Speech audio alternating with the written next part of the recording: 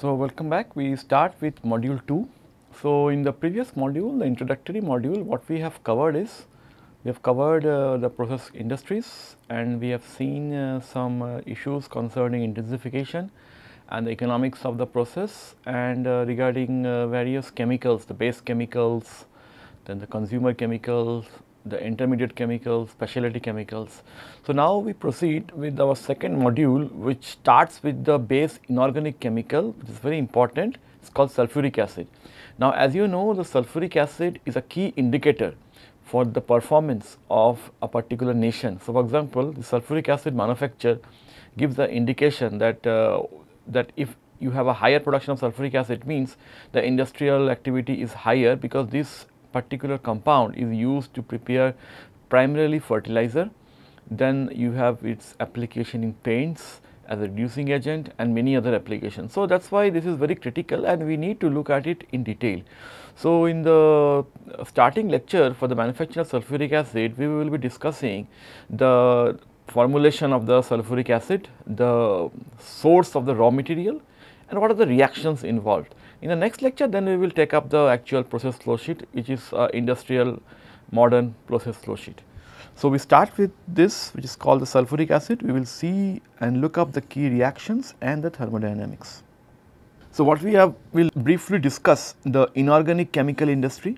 So, as I told you the inorganic chemical industry constitutes of the ammonia then it has the sulfuric acid these are the two major inorganic base chemical because from here you can manufacture many other compounds.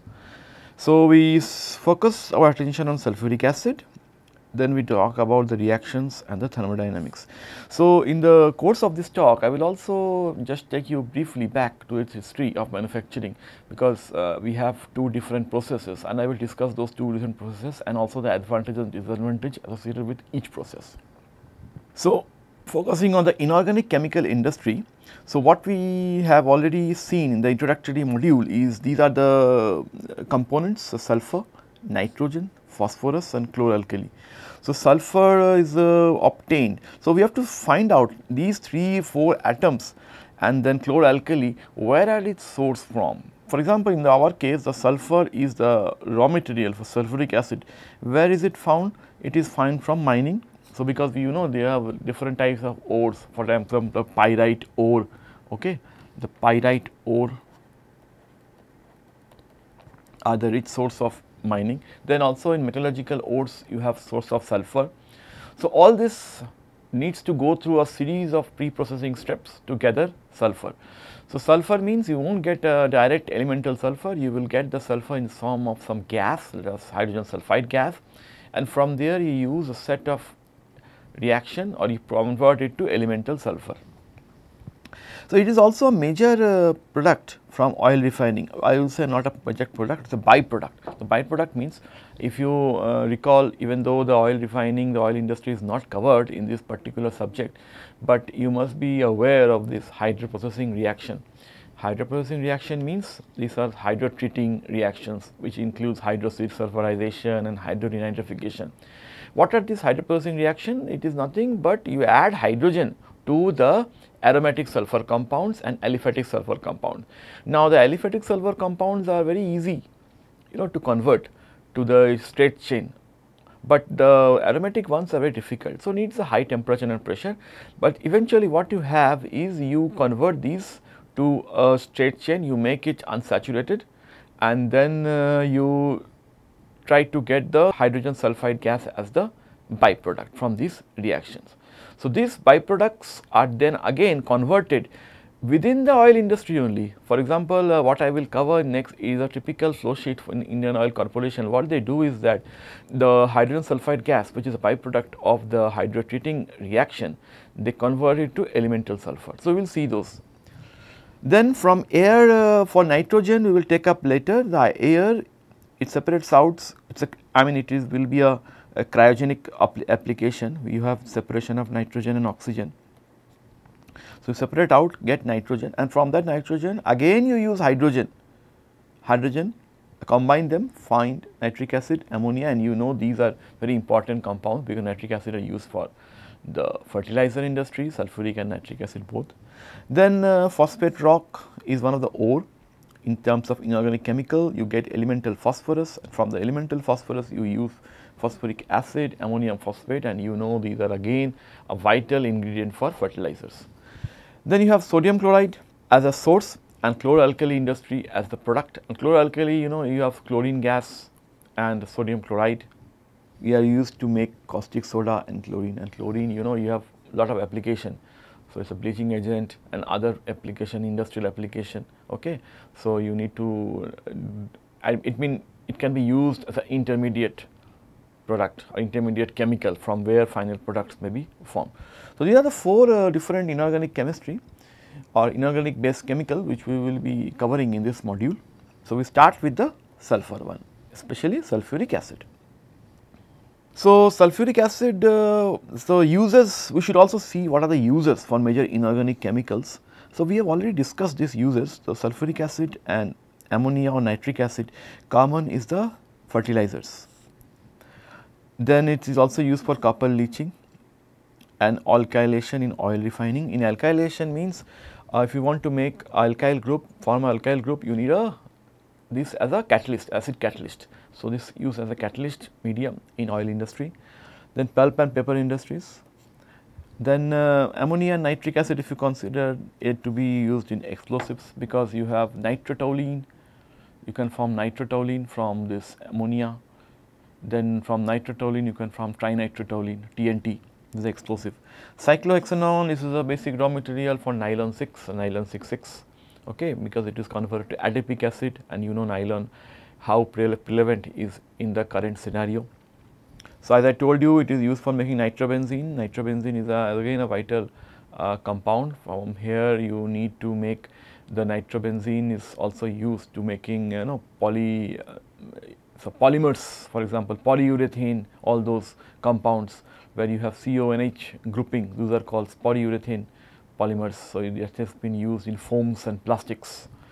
Then chlorine gas uh, it is a basic raw material for polyvinyl chloride polymer for HCl production as a cleaning agent. Then finally, the chloralkali. So, alkali is sodium hydroxide is used for disinfectant which is taken in the form of sodium NaClO and paper industries. Okay. So, these are the various uses for the inorganic chemical. So, we start with now sulfuric acid. So, if you see this is a production worldwide production I think this is in the year of 2010 is a, from the same book as Moulijn. So, if you see the production is in megaton in y axis and x axis is the inorganic base chemical. You see these two ammonia and sulfuric acid are the major production worldwide uh, 160 megaton and, and then comes nitric acid chlorine NOH. So, the production of these two the sulfuric acid and ammonia is thus vital to gauge the economic indicator of a country. Okay. So, how good the country's economic activity is going on. So, that is why it is the largest volume chemical produced currently. So, yeah just find forgot to mention that when you see this green color it implies that most of the sulfuric acid and ammonia produced in the worldwide is used for fertilizers. Okay. Similarly, for nitric acid also most of them they are used for fertilizers. While for chlorine as I told you these are the monomers for PVC and sodium hydroxide is a well known starting compound for paper manufacture. So, we go to the initial uh, development of the process for sulfuric acid.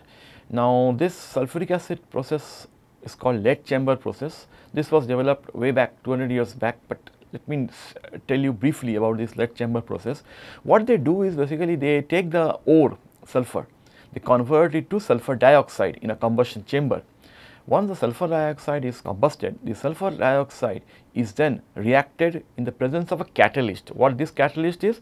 The nitrous oxide NO. So, this nitrous oxide is again regenerated during the course of this reaction. So, when this sulfur dioxide and nitrogen oxide or NO nitrous oxide are combined in a liquor which is previously made they get converted to SO3 and from the sulfur trioxide you react it with water and the acid already present to get sulfuric acid.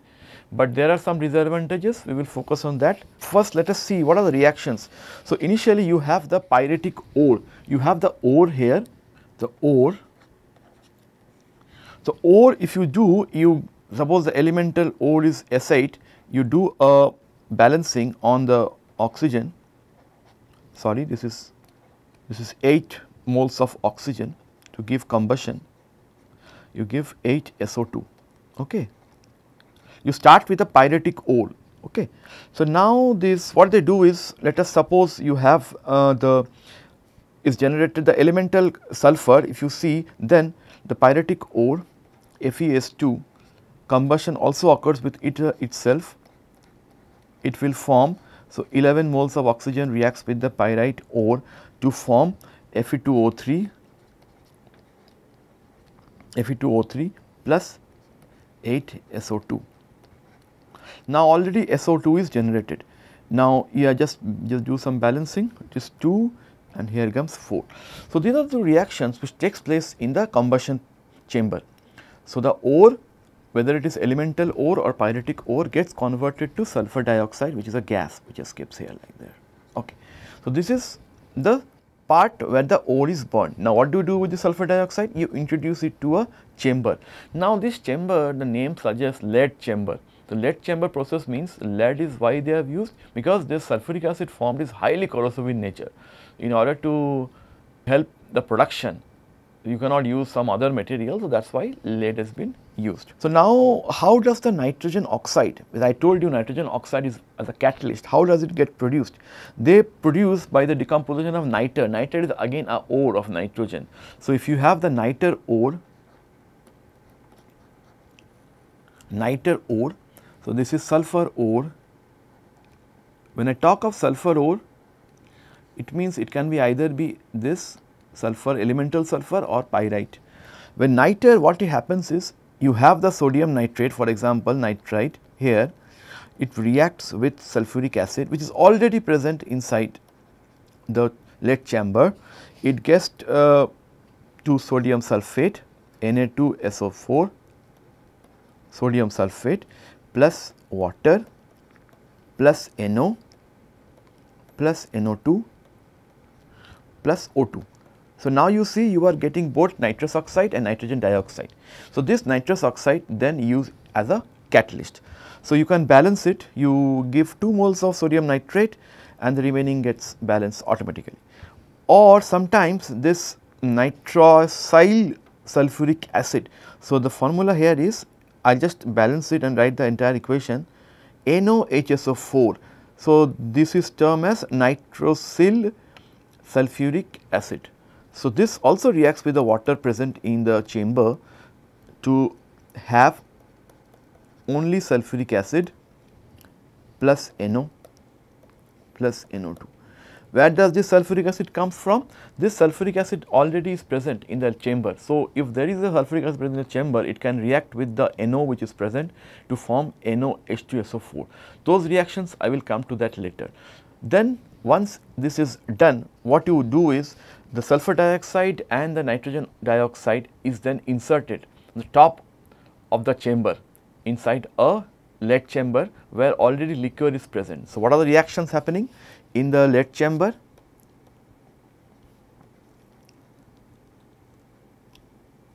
So, lead chamber what are the reactions happening?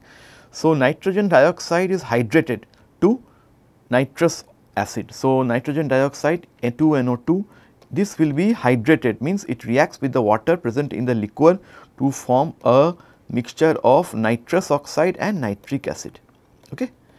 This nitrous oxide or nitric oxide then the SO2 which is already there in the aqueous phase because sulfur dioxide is again absorbed from the combustion chamber into the lead chamber.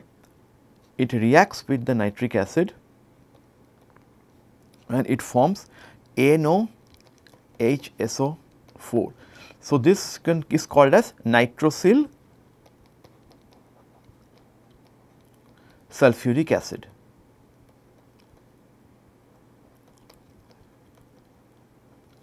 So, this is nitrosyl sulfuric acid. This is one of the rate determining step for the lead chamber process. So, that is why this NOHSO4 is formed here, here. So, it is formed from the process which is there in the lead chamber. Now, what happens is that this NaHSO4 then again NHSO4 reacts with the nitrous acid HNO2 reacts with the nitrous acid to form sulfuric acid H2SO4 plus again nitrogen dioxide plus nitrous oxide. Okay. So, you have set of equations which are governing. So, then the sulfur dioxide in the aqueous phase again reacts with sulfur dioxide in the aqueous phase which is in the lead chamber again reacts with the nitrous oxide. I am just balancing and writing the entire equation you may check if the balance is correct. It will form sulfuric acid plus 2 NO. Now you see we are generating again NO. So, NO is consumed as well as NO is also generated. So, now how it is again generated or it is consumed because the nitric oxide will escape from the reaction liquor. So, it will escape from the reaction liquor and then again react with the oxygen present because the oxygen is present in this reaction. So, this NO when it reacts when it goes up in the chamber itself again it will react and it will form back NO2. So, 2 NO plus O2 will give 2 NO2. Okay. So, see now again you are getting NO2 generated. So, NO, so if you see they are regenerated in the process overall there is no consumption of NO. So, we can say that NO is a part of catalyst. So, what is the overall reaction which is happening? Which is the overall reaction is 2 of SO2, 2 times SO2. If I write all the equation together, it is 2 times SO2 when reacts with water and oxygen to form 2 times or 2 moles of sulfuric acid. So, this is the overall reaction for lead chamber process. So, what you have is you have a chamber within that you have liquor in the liquor you are spreading the sulfur dioxide and nitrogen dioxide from the top. Then let the reactions which are present in the lead chamber, these are all the reactions present in the lead chamber happening. And in the process NO is again regenerated. So, NO nitrogen nitrous oxide is used as a catalyst. So, this was going on. It is so strong this particular process. It is going on till date also. Some plants are still using this this lead chamber process, but it has some disadvantages we will talk about that.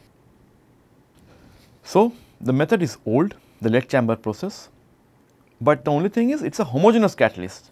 So, unlike the contact process we will discuss later this is a homogeneous process it means the nitrogen the gas phase reactions takes place. So, single phase reaction.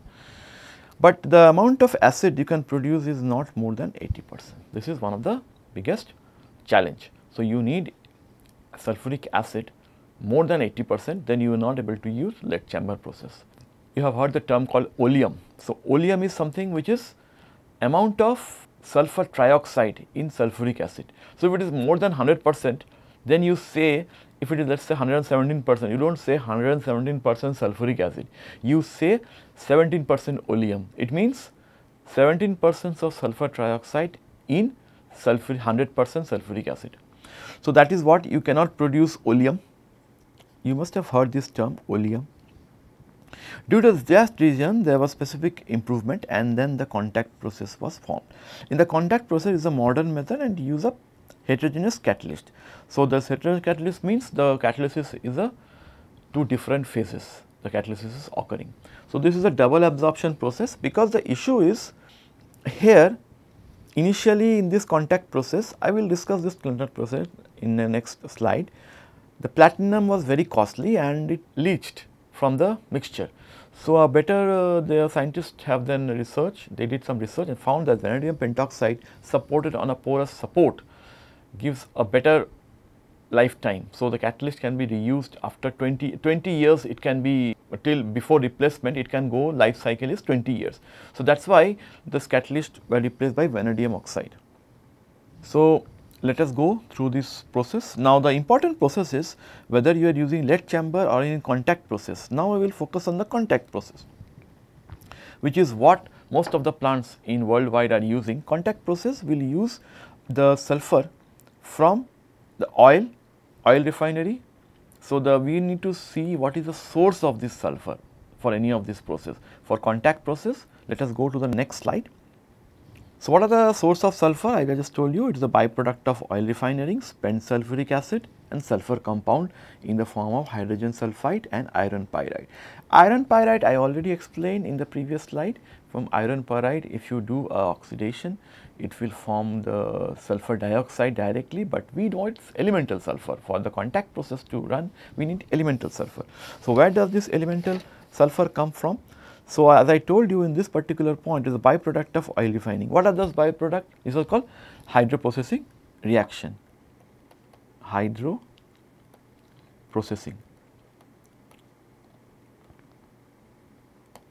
It means hydrotreating. Hydrotreating means what? You remove the heteroatom. So, this is suppose you have this mercaptan RSH, you make it with hydrogen, do a hydrogenation it will form a straight chain compound and you have H2S gas. So, this is one of the source in the oil refinery. Then or you can have a compound such as thiophene. So, thiophene is one of the major compound in this crude oil because now you know this crude oil is a big problem because of this current scenario. Uh, the, the, crude oil which we get from uh, in India uh, we as you know 80 percent of the crude oil is imported from outside 80 percent, but 20 percent is still available in India. So, some of the parts which you know which is available is in the northeast which is the Assam you have number of refineries. Those oil have low sulfur content, but those which are coming nowadays which is from Krishna Godavari basin in Andhra Pradesh or nearby areas, they have very high sulfur content or those which are coming from Gulf or some West Asia, they have high sulfur content. So, you have a good source of this H2S. So, that is why this hydroprocessing reaction is a vital step or vital clog in the oil refinery. So, what they do is they will treat this, they will remove the heteroatom, heteroatom here is sulfur nitrogen, then convert it to H2S. So, that is why these are the heteroatoms. So, it may be in the form of mercaptan, thiophene or multi-aromatic rings. So, again if you do a hydrogenation on this it will form straight this compound and H2S. Or then there is a dibenzothiophenone. What is this dibenzothiophenone? You have two benzene ring within the sulfur atom. So, you have the two benzene ring, you are partly saturated here. Again you do hydrogenation. So, I did not balance here 3 times, 5 times of hydrogenation, 5 moles of hydrogenation then you form a compound such as like this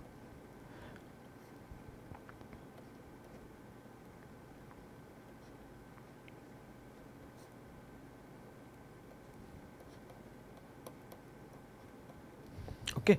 So, these are the set of reactions A, B which happens in an oil refinery where while hydrogenation is conducted you get hydrogen sulfide as the gas, hydrogen sulfide gas. Okay. Now, this hydrogen sulfide gas can be burnt in a combustion chamber and you get elemental sulfur. So, that is called the Claus process. We will see the production of this Claus process in the next uh, few lectures. So, this is the way. So, overall uh, how does this these are this what they do in the oil refinery itself all this this one this product sulfur H2S the overall reaction which occurs is twice or moles of H2S plus oxygen S2 plus. So, this is one of the elemental sulfur S2, it can be S6, S8 as you know there are various forms of allotropes of this sulfur. So, this is a highly exothermic reaction, it is around 444 kilojoules per mole. Okay. This is the overall reactions which it converts. So, this is the source of sulfur. Okay. So, this is called partial oxidation. So, it is called partially they are oxidize it. So, in the contact process as I told you we can get a concentration ranging from 33.33 to 114.6 and oleum is the mixture of sulfuric acid and sulfur trioxide. The strength becomes more than 100 weight percent then only it is called as oleum. So, 112 weight percent I told you 12 weight percent free dissolved in 100 weight percent sulfuric acid. This is the way you name them. Now, this is uh, from the typical refinery specifically from Indian Oil Corporation. What they do is uh, they have the feed. What is this feed? Feed is uh, no, this is a feed where uh, the rich amine based feed is where is have H2S because H2S gets absorbed in this amine. And what is this amine? The amine which is we am talking about is MDEA. It is methyl methyl diethanolamine di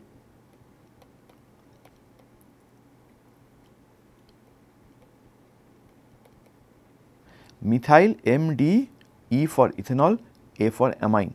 MDE. This is a very sulfur recovery unit SRU we call it in the oil refinery SRU sulfur recovery unit. This is an integral part within the refinery. So, what you do is you store the rich amine which has sulfuric hydrogen sulfide gas H2S gas in it and then send it to flash drum. What happens in the flash drum is you separate out the hydrocarbons. You do not separate out essentially here, but you tends to dissolve the hydrocarbons in another uh, you separate out because of the flash condition. Now, for the separation of the hydrocarbons you do this send it to a stripper column. The stripper column the temperature is around 127 degrees Celsius. Uh, when you pass this through a stripper column you then have a lean amine recovery. So, the amine lean amine means H2S gas which was present initially where we have termed is rich amine, it is absent. So, it is lean amine. So, now all the H2S gas is in the form of gas which is at the top of the stripper. So, this is a liquid which is the hyd primarily hydrocarbons which is taken out from the bottom of the stripper column and the hydrogen sulfide gas then it is cooled and then it is sent to a knockout drum. So, in the knockout drum what they do is they separate out the gaseous and the liquid part. The knockout drum primary aim is to separate the gaseous and the liquid part. The liquid part is then separated out here, it is called sour water. This is sent to treatment unit because there may be some sulfur still present in the liquid part. It may be used for further treatment. And the gaseous part you send it, the gaseous part what happens when you do a knockout, you have almost 90 percent of hydrogen sulfide gas in it. Then you what you do is the main combustion chamber. The main combustion chamber what you do the purpose of this is you burn it, you burn the gases in oxygen. The temperature kept is around close to 260 degrees Celsius. So, till now we are only recovering H2S, we have not come to elemental sulfur. At this particular temperature around 60 percent, around 100 percent so, what happens is let me just re repeat. So, when it goes here uh, when you do this knockout drum almost 100 percent sulfuric acid sorry not sulfuric acid 100 percent of hydrogen disulfide gas is sent to the main combustion. And when you do a combustion with respect to oxygen almost 60 percent of this hydrogen sulfide is converted to elemental sulfur. Okay. So, that reaction as again I will write you down H2S plus SO2 plus O2, it will give you elemental sulfur plus water plus SO2. Okay. So, what happens is we have the gases in the gases you have uh, H2S because I told you 90 percent of H2S remaining will be uh, most of them will be accompanying sulfur dioxide. So, when you have this sulfur dioxide this reaction although it will be almost be negligible because I am writing here 100 percent, but if there is any sulfur dioxide which is present it will be combusted and forming the elemental sulfur, but it is only 60 percent. What you do is you want to convert to 100 percent then what you do you send it in a series of reactor where this reaction occurs. Okay. You cool that, you cool that and you send it to a sulfur lock. What is this sulfur lock? it will prevent the escape of gaseous sulfur. It will only prevent or allow the liquid sulfur to pass through. Okay. Pass the liquid sulfur to pass through, then it is kept in a sulfur pit. The sulfur pit means you the temperature kept is around 140 degrees Celsius, it becomes liquid and then finally transported to sulfur yard. So, here all the sulfur elemental sulfur is sent. So, the flash point here is around 116 degrees Celsius while the boiling point of this elemental sulfur is around 145 degree Celsius in the case of sulfur here.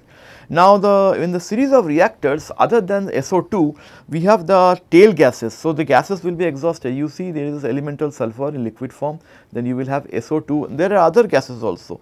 These gases may be also be present carbon dioxide then you will have carbon monoxide then you have NOx and you may also escape with some elemental sulfur.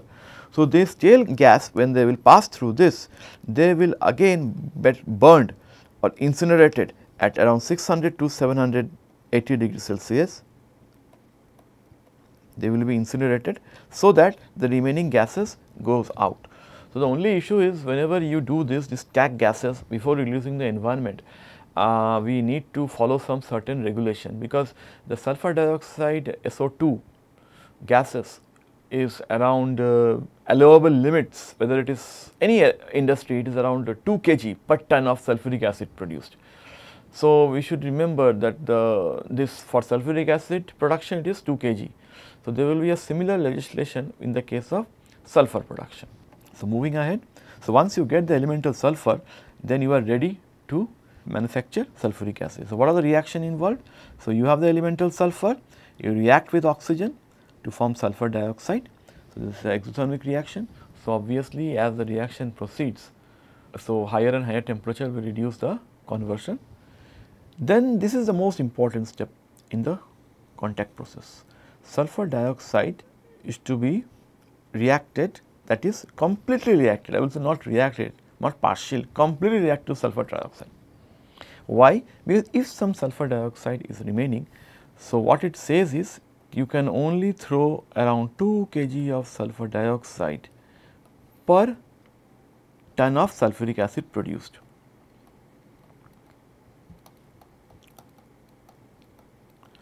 This implies that the conversion should be close to 99.7 percent.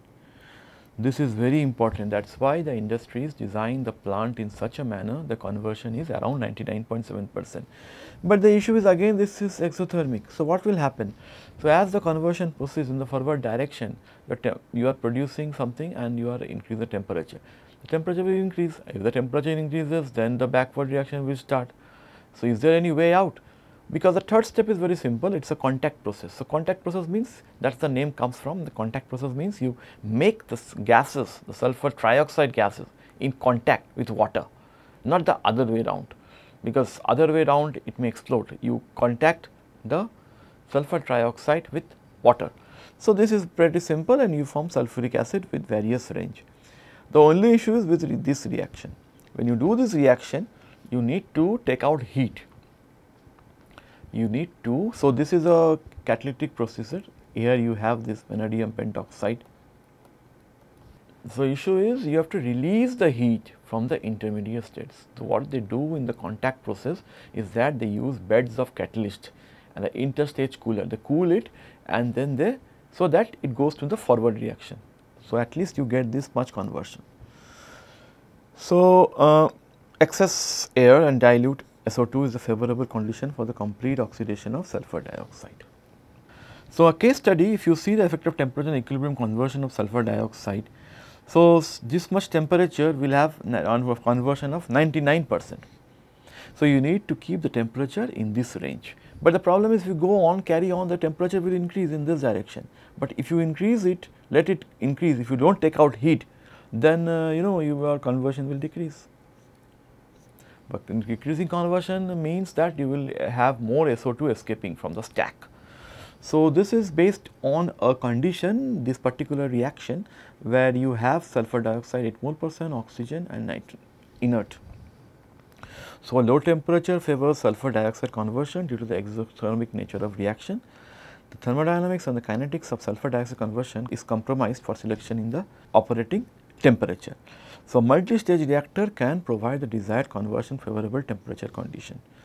So, practical operating range is 670 to 800 Kelvin. So, maybe in the next lecture what we will see is how this interstage cooler in a modern sulfuric acid plant is designed. So, very important okay you have to keep this conversion near about 99 percent. So, you need to keep the temperature in this domain. So, you remove the heat, remove the heat periodically from different beds keep the conversion to be higher.